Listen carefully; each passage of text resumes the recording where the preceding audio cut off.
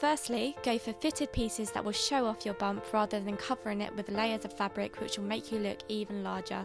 Slim down your silhouette with slim fit jeans and a button down shirt to complement your curves.